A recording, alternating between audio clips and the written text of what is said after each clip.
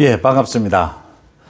지금 온라인 상에서 아주 인기 있는 글 중에 하나가 어느 한 카페에서 어, 카페 문 앞에다가 문재인 대통령을 노골적으로 비난하는 어, 글귀를 적어서 그걸 누가 사진을 찍어서 올린 글이 지금 인터넷에서 화제가 되고 있다고 합니다. 그래서 제가 그 내용을 한번 읽어보니까 이런 내용입니다. 이번 주 문재앙 업적 해가지고 1. 일반 청년 모욕죄로 직접 고소 2. 백신 2차 접종 국민 누구보다 빠르게 3.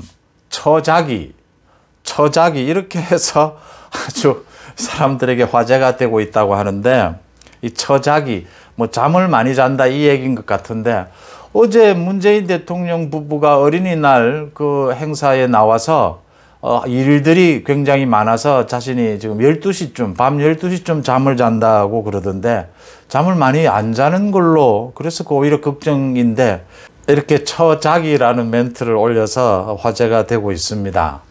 문재인 대통령이 이렇게 조롱거리가 되는 건 최근에 지금 일본으로 올라온 내용 이겁니다. 일반 청년 모욕죄로 직접 고소라는 부분입니다. 이 30대 청년이 그 대통령에 대해서 북조선의 개다 라고 한 그 내용에 대해서 이 대통령이 직접 모욕죄로 이제 고소를 했다가 고소를 취하를 하면서 그냥 고소를 취하하면 됩니다. 아, 좀 부적절했다라고 하고 취하하면 될 일을 앞으로도 이런 심각한 내용에 대해서는 또 뭐 모욕죄로 조치를 취할 수밖에 없다. 성찰할 기회가 되기를 바란다. 이렇게 하니까 이 30대 청년이 또 되받았지 않습니까? 오히려 대통령이 성찰해라. 자신이 그동안 2년 동안 경찰 조사를 받는 등그 고생을 했던 부분 이런 얘기를 하면서 대통령이 지금 국민이 비판하는 것에 대해서 이렇게 직접 모욕죄로 고소를 하는 이런 부분이 잘 된 것인지를 대통령이 성찰을 해라 라고 되받았습니다. 그 청년을 비롯해서 이렇게 대통령을 모욕하는 것에 대한 성찰이 필요하다. 이렇게 또 남 탓을 하는 이런 얘기를 하니까 대통령이 오히려 조롱을 받는 겁니다. 문재인 정부에 대한 국민들이 정서적으로 가장 문제가 있다라고 하는 게 내로남불입니다. 내로남불이 생기는 근본적인 이유가 남 탓을 하는 겁니다. 박근혜 전 대통령에 대해서 그 욕설이나 비난 얼마나 심했습니까? 그런 것과 비교를 해 보기를 바랍니다. 또 지금 오늘은 그 총리 후보자에 대한 인사청문회가 열리고 있죠. 지금 장관들과 총리 후보자에 대한 인사청문회가 열리고 있는데 지금 장관 후보자들이 외국에서 도자기를 밀수를 한 부분이 드러나고 또 정부 예산으로 외국에 출장을 가면서 가족들과 함께 가는 이런 이야기들이 드러나고 있는데도 이걸 또 남 탓을 합니다. 그 민주당의 윤건영 의원 지금 이 같은 인사청문회를 놓고 인사청문회 제도 탓을 했습니다, 이제. 이런 식의 인사청문회라면은 빌 게이츠나 일론 머스크 같은 사람이 와도 장관으로 임명하기가 힘들다. 인사청문회가 있을 때마다 인사청문회 제도에 문제가 있다라는 얘기는 계속 나왔죠.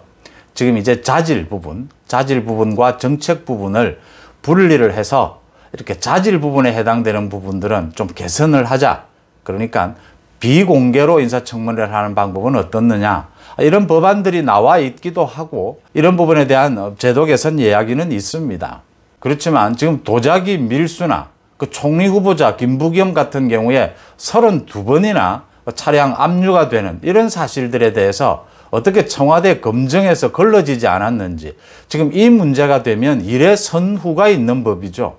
이 부분에 대한 사과나 이 부분에 대한 좀 진지한 해명이 있고 난 다음에 그 다음에 제도 탓을 하는 것은 또 순서상 괜찮을 수 있습니다. 지금 이게 불쑥 제도 탓을 하고 나서면 이게 내로남불이 되는 거죠.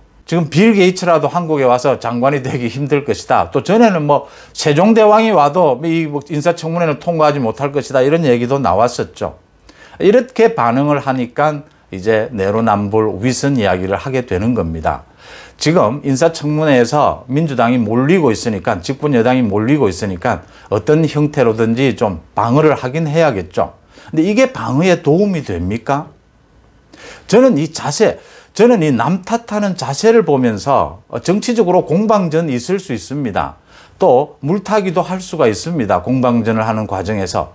또 자신의 지지층을 향해서 이런 메시지를 낼 수도 있습니다. 근데 지금 문재인 정권의 지난 4년 동안 거듭되는 이 남탓을 보면서 뿌리 깊은 남탓, 그 조국 사태 때 보지 않았습니까? 이걸 보면서 아, 이 사람들은 정치를 할 기본, 정치를 할 자질, 인성이 문제가 있는 것 아니냐. 그러니까 전혀 정치적인 효과도 없는 이런 식의 메시지를 내면서 오히려 국민들에게 짜증만 불러일으키는 이런 상황이 되고 있습니다. 또 있습니다. 그 유시민에 대해서 유시민이 기소가 된 부분 명예훼손으로 한동훈 전 검사장이 유시민에 대해서 명예훼손으로 기소를 했죠. 유시민이 사과를 했지만 그 사과로서는 충분하지 않다. 사실은 이거 저 기소한 것 정말 잘한 일이고 좀 늦었다고 봅니다. 빨리 해서 유시민이가 그 당시에 노무현 재단의 그 자금 흐름, 그 계좌를 검찰이 추적을 했다라고 주장을 했지 않습니까? 그 주장이 이제 거짓으로 드러나서 유시민이 사과를 했는데 이제 그게 기소가 됐습니다. 이 한동훈 검사장이 그 당시에도 지적을 했습니다. 이 사과로 끝날 문제가 아니고 유시민이가 왜 그 같은 지적, 그 같은 주장을 할 수 있었는지 그 근거, 그 주장을 한 그 배경, 의도가 있을 겁니다. 이 부분을 밝혀내야 한다는 겁니다. 지금 김어준에 대한 이야기가 많이 나오고 있는데 김어준을 그냥 둘 것이냐. 지금 감사원에서 감사를 하겠다고 하죠. 그 다음에 오세훈 시장 아주 적절한 말을 했습니다. 자신은 보고조차 받지 않는다. 김어준에 대해서. 어, 김어준의 방송에 문제가 있으니까 스스로 그 방송국 안에서 그 문제를 해결점, 해답을 찾기를 바란다. 아주 적절한 말이었습니다. 김어준의 문제는 제가 여러 번 말씀을 드렸습니다. 지금 사소한 문제가 아니고 어떻게 해서 그 교통방송 안에서 김어준과 같은 이런 가짜뉴스, 김어준과 같은 이런 편파 방송이 가능할 수 있는지의 그 구조적 문제를 밝혀내는 것이 핵심입니다. 이건 서울시에서 할 수 있습니다. 감사원에서 감사를 해서 밝혀낼 수 있습니다. 이건 지금 방송국 전체가 문제가 있는 겁니다. 제가 아는 한 어떤 방송이든지 공영방송, 어, 제대로 조직을 갖춘 공영방송에서는 김어준과 같은 이런 편파방송, 가짜방송을 할 수가 없습니다. 어떤 한 개인이, 어떤 한 사장이 이걸 원한다고 해도 그렇게 할 수가 없게 되어 있습니다. 구조상. 그렇게 못하도록 시스템이 만들어져 있습니다. 그 구조적인 문제가 밝혀진다면 김어준이 어떻게 해서 지난 보궐선거에서 가짜뉴스를 통해서 선거 공작을 할 수 있었는지, 이게 민주당과는 선이 연결되어 있지 않았는지, 이런 부분들을 다 드러내면 자연스럽게 김어준 문제는 해결이 되는 부분입니다. 문재인 정권의 친정부적인 여러 그런 어떤 방송인이라고 해야 됩니까? 뭐 언론인이라 해야 됩니까? 사실 언론인이나 이렇게 부르기도 힘든 사람들인데 이 사람들이 주로 하고 있는 그 가짜 뉴스, 음모론 이런 것에 대한 뿌리를 밝혀낼 필요가 있다. 이런 점입니다. 그건 그렇고요. 유시민에 대해서 제가 이 기소 문제를 꺼낸 것은 그 김용민 민주당의 최고위원이죠. 또 이것에 대해서 검찰 탓을 했습니다.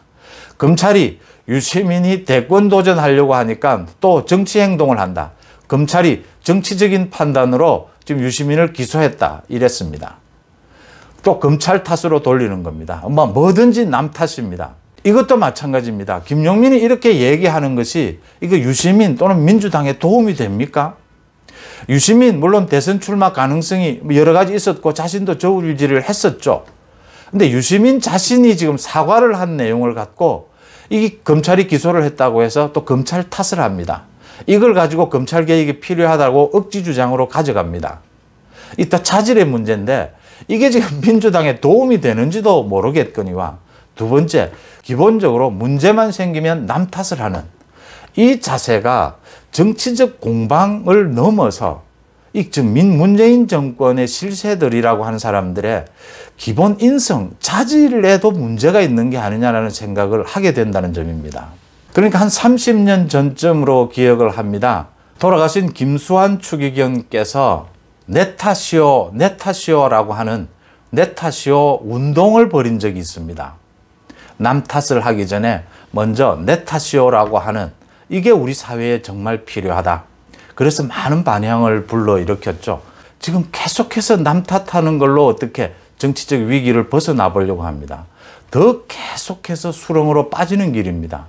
이게 지금 민주당이 생각이 있는 사람 송영길 같은 경우에 민주당의 대표로 뽑힌 제가 이 말을 말씀을 드릴 기회는 없었는데 송영길 대표는 문재인 대통령과 아무런 정치적인 뭐 부채 관계가 없는 사람입니다. 송영길은 문재인 대통령에 대해서 어떤 정치적 무게감이나 이런 걸 별로 인정하지도 않습니다. 송영길은 비문, 뭐 비문이라고 보면 정확할 텐데 자기 정치를 하는 사람입니다. 문제는 이제 송영길이 친문들과 어, 싸워서 친문들을 이길 수 있겠느냐 당내에서 이 부분을 한 지켜보는 부분인데 송영길은 어떤 개혁 이런 것보다는 자기 정치를 하겠다라는 것으로 봅니다.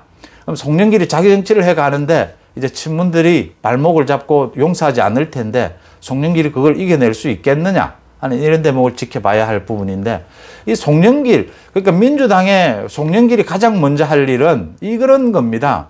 아무 도움되지 않는 이런 남탓 이거부터 못하게 막는 그 일, 그 집안 단속 그것부터 하는 게 송영길의 업무가 아니겠느냐 이렇게 보입니다.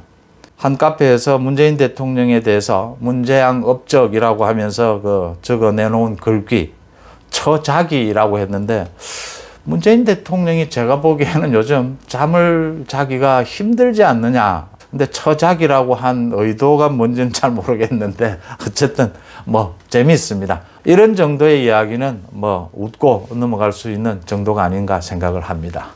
고맙습니다.